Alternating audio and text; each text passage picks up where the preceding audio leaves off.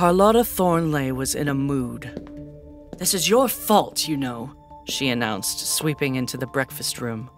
To add insult to injury, Johannes lounged in his favorite odious armchair with his boots on the table. I have not even had my morning coffee yet. How could I possibly have infuriated you already? Our daughters are gone. If we had filed a report with the Iron Shoes like I asked, he tossed the paper down, then half the damn city would be poking their ungainly nostrils into our business, as I explained. Who? The Duke of Thornley frowned and opened the door. Their bodyguard gunner looked like what you'd get if you'd wrestled a Rottweiler and a snow leopard into a suit jacket. Gunner bowed. Forgive the intrusion. I thought you would want to read this. Johannes waved him inside, unfolding the letter Gunner proffered. Carlotta moved to read over her husband's shoulder. The penmanship was appalling. She recognized it at once. I've located one of your runaways. She patted her husband's shoulder. Perhaps you aren't entirely useless after all. Realm presents Elixir. Episode 5.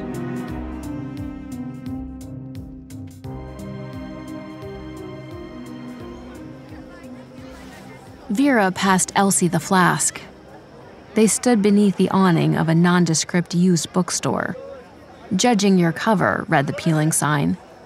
The latter, Vera noticed, had been graffitied with the same strange symbol she'd seen in the market last week a council chair slashed across in red. You don't have to take it.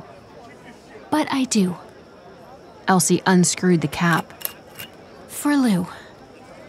With that, Elsie tipped her head back and drained half the flask in one gulp. no need to chug. Did, did I do it wrong? Even as she asked, her face began to shift. She must have sensed it because she whirled to peer at her reflection in the shop windows. Vera watched, amused. Remember what I told you. Picture her face, her body. The more detail, the better. A couple blinks later, a strange new face stared back at Vera. Almost Elsie. Same lips, similar eye shape, but her nose was a bit longer, her cheekbones higher. How do I look? Elsie posed. Not as beautiful as you did a second ago. But Vera couldn't say that. Good enough to fool your own mother, I'd wager. I doubt any elixir is good enough to fool my mother. Elsie squinted through the bookshop window. Is this the place? It doesn't look open yet. Try the door. Vera fought to maintain a straight face. She loved this part. Elsie pushed the door inward and gasped. The whole shop front changed as they stepped inside. Lights flared to life. The dusty, mold riddled shelves vanished, replaced by copper versions laden with rich leather bound volumes. Elsie stepped inside, lips parted with awe. How even? Vera pointed up. Perched at what would be the second story, in bay windows that jutted out over the street, two bouncers watched the door. They maintained the glamour all night. Now Elsie gaped at the store windows themselves. The dockside street they'd just been standing on was gone. Outside waited another view entirely a wind swept beach, palm trees swaying in the distance, waves lapping at the shore. JJ calls himself a seasonally fluid decorator. If you ask me, they just hate winter. Miss Reeves, it has been far too long since you've graced my humble showroom. Judging Your Cover's owner had, as usual, outdone themselves. They wore what looked like living palm fronds styled into a three piece suit, and they'd glamored their entire body into the rigid texture of palm tree bark. Humble. Right. She opened her arms and let JJ pull her into a bone crunching hug. As if you aren't the most unabashed person in all of Locke. JJ kissed both of Vera's cheeks before they released her. The most unabashed man in Locke tonight, if you please. Vera mentally adjusted JJ's pronouns for the evening. His seasons weren't the only thing fluid about him. And who do we have here? JJ had finally noticed Elsie. Uh, Louise. Subterfuge was not her forte. A pleasure to meet you, Miss Eloise. Oh, it, it's just Louise. Or Lou, really. Lou's best. Elsie laughed breathily until Vera nudged her ankle. JJ didn't notice. Now, to what do I owe the pleasure of a visit from our city's most well established hermit? Vera glared. Uh, I'm, I'm not a hermit. Elsie, damn her, only laughed. How many times in the last week have you actually left the bar? JJ grinned. Oh, I like her. I've always said you need a woman willing to call you out on your nonsense, Miss Reeves. Now they both went red. I see. Hasn't been consummated yet. My apologies. Joseph Juliet Taylor, Vera warned. He did not look even remotely sorry. Inside. You and I are long overdue for a drink and a chat. He tucked Vera's arm through his and led them to a bookshelf at the rear of the shop. The shelf slid aside.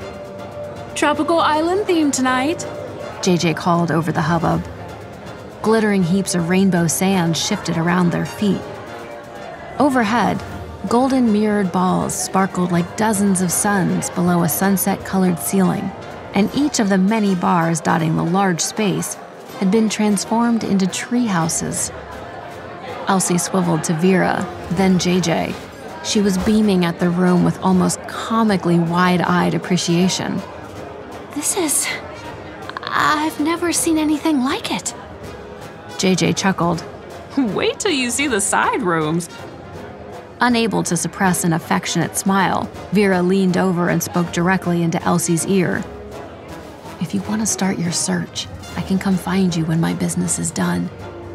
She caught Vera's hand and squeezed just once. Good luck. Vera's pulse skipped. You too. When she looked back at JJ, he was studying her a little too knowingly. If you're here for relationship tips, uh, my advice is bed that one already. Actually, I'm here on business. Ugh. JJ caught a server's eye and held up two fingers. At least humor me then before you ruin my night. He passed Vera a shot glass. Sighing, she tapped it against his. They downed the shots. When she looked up again, tiny pink hearts haloed some people. Vera narrowed her eyes at JJ. Was that a love potion? Of course not. Those are completely unethical. New brew I've been working on. The elixir highlights anyone you're physically attracted to, assuming you experience physical attraction. With renewed interest, Vera surveyed the bar again.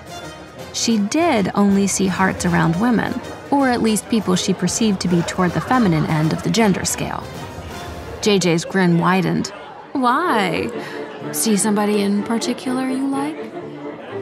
In fact, Vera did spot one ring of blazing neon hearts but she turned away before she could make out who they were attached to. She had a bad feeling she already knew. I told you, JJ, this isn't a social call. I came to talk about a mutual acquaintance. Harlow Jones. What about the worm? As Vera detailed her encounter at the dam, his face scrunched in distaste. I knew that cockroach couldn't afford to buy so many hush bars above board. But threatening an apothecary? We have enough on our plate avoiding arrest by the city council. We can't start warring amongst ourselves, too. I agree, which is why I'm here. I want to form an alliance. You, me, and some of the other established apothecaries. If we all hold our ground and pool resources. JJ rapped his silver nails on the bar. He won't be able to pick us off one by one. True. but I don't want to court trouble if it's possible to avoid it. She shifted closer. JJ, any help you can lend me, I'd repay in full. You know that. I do. But Mr. Jones hasn't said boo to me since I threw him out of here two years ago.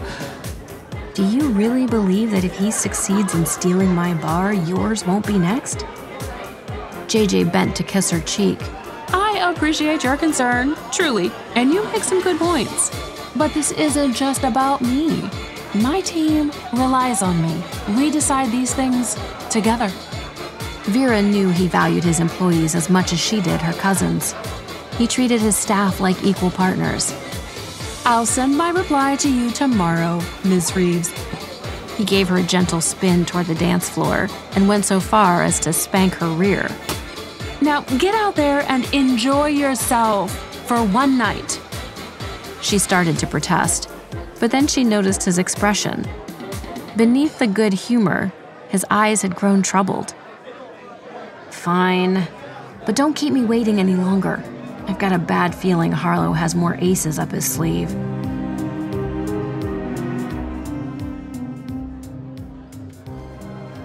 Elsie could not stop staring. Everywhere she looked, she chanced upon a new wonder. Acrobats cartwheeling up the walls as if gravity had shifted its axis. Dancers who glided through midair without any sort of gravity at all. And what seemed at first glance to be a bathroom hallway turned out to be an underwater tunnel.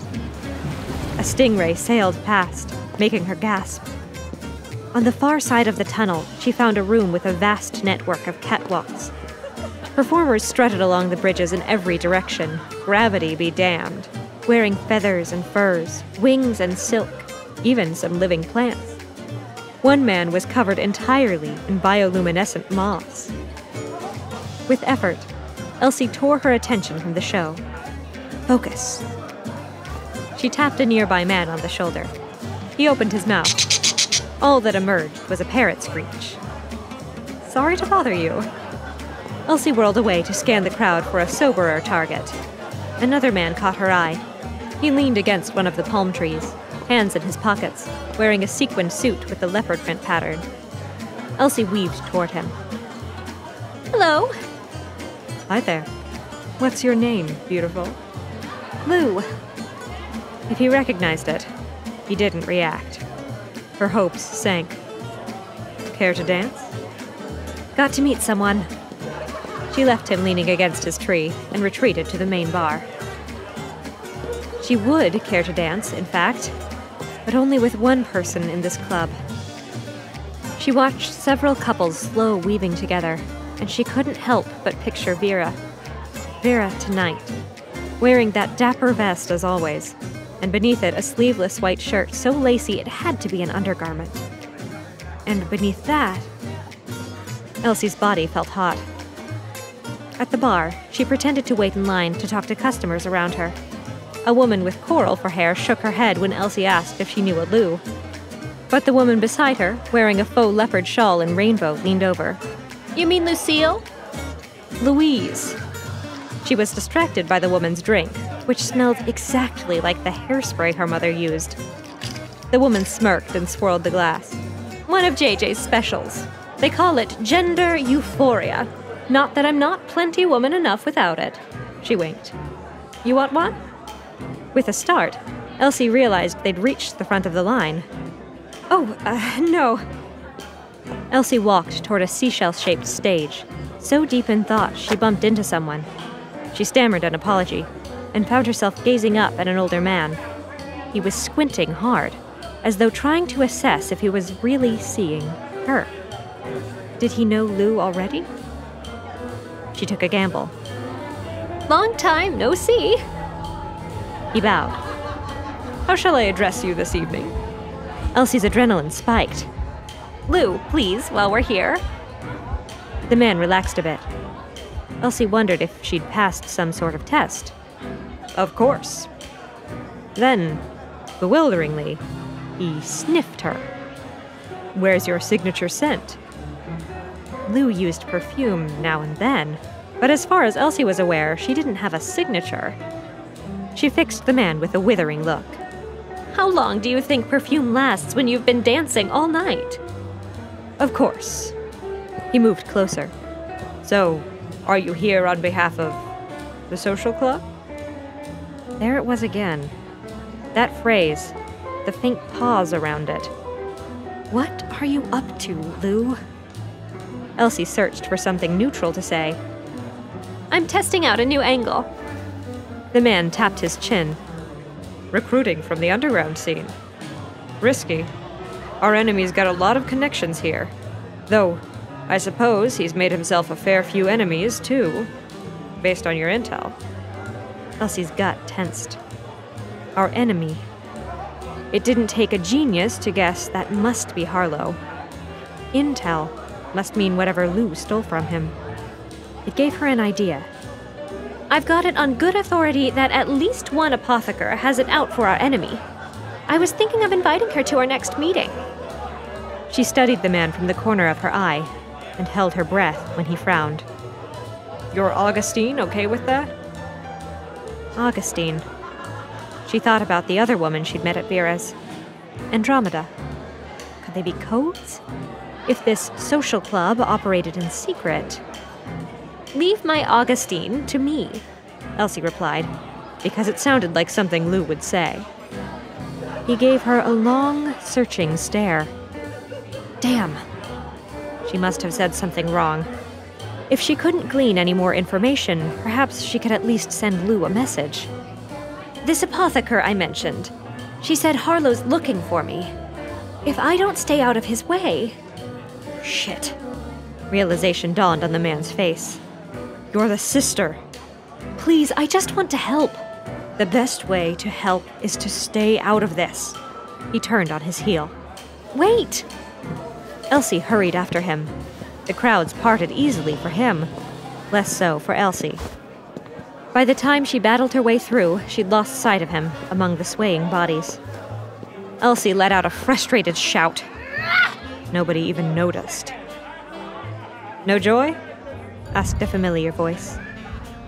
Even in the depths of her despair, the sight of Vera sent a swoop through her stomach. She shivered and disguised it with a headshake. One lead, but he got away. She explained what little she'd gleaned from the man.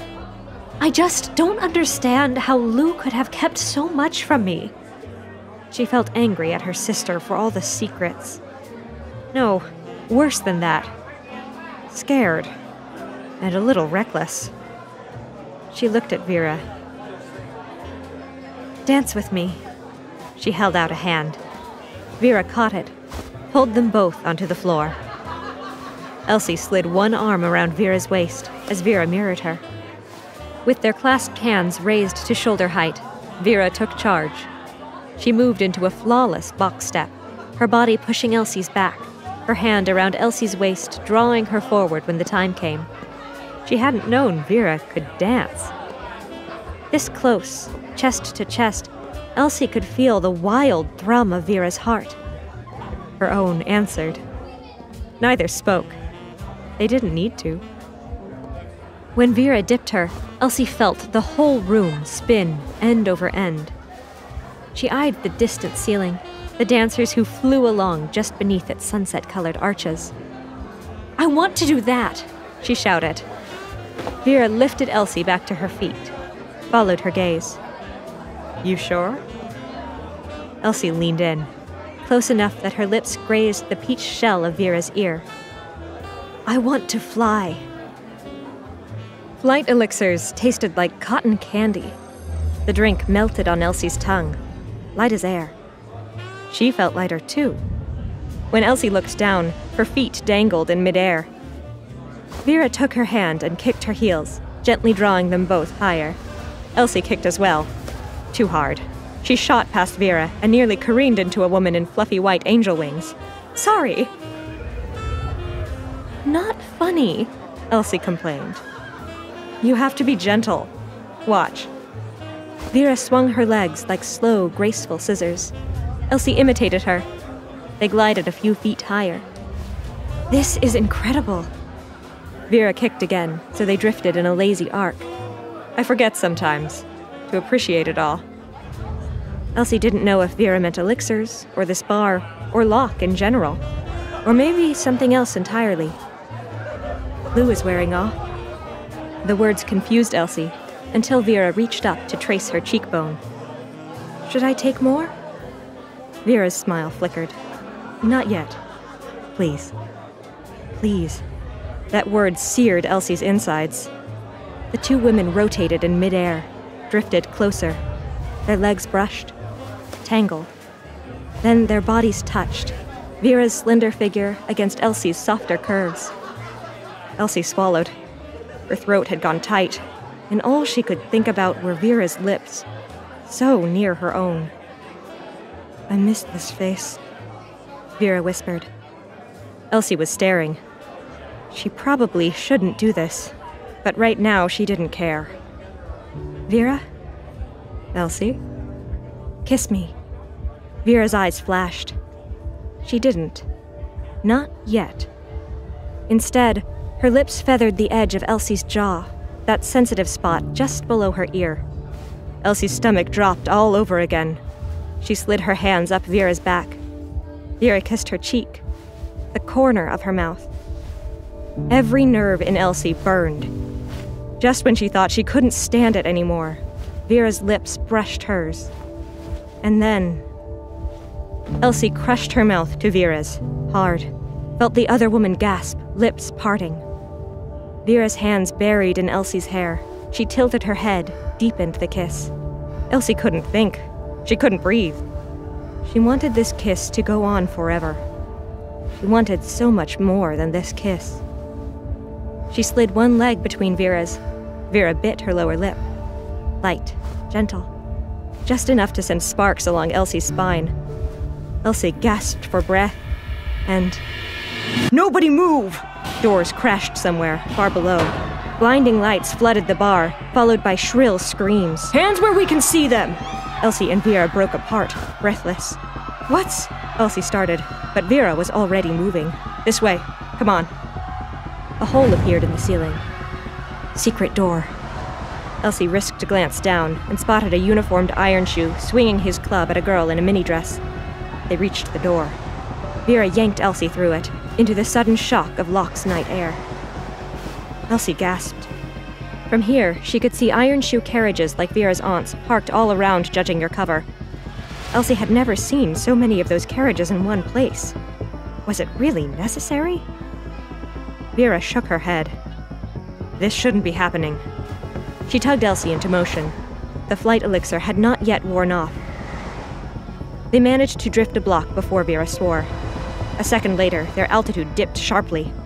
Vera slipped off her high heels. Get ready to run the moment we touch ground. Elsie hiked her skirt above her knees, grateful she'd worn flats. Her feet touched pavement.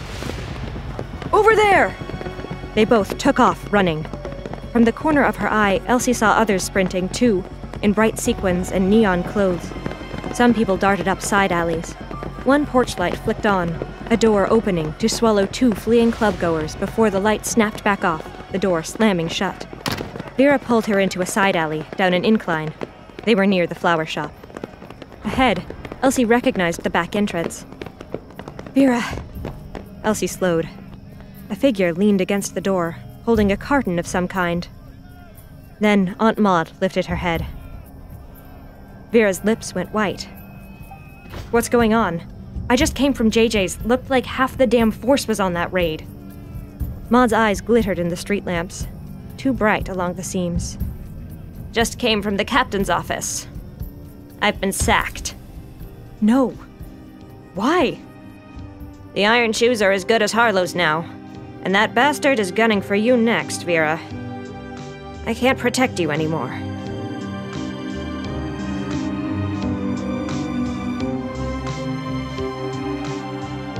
You're listening to Elixir by Ellen Goodlett, starring Ava Mag, Keeler Lee, and Marin Miller. Produced by Realm, your portal to another world. Realm, listen away. Elixir is written by Ellen Goodlett. It is produced by Nicole Otto and executive produced by Molly Barton. Voice direction, audio production, and original theme music by Amanda Rose Smith.